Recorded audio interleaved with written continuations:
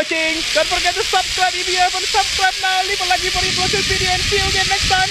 Bye bye. Ah!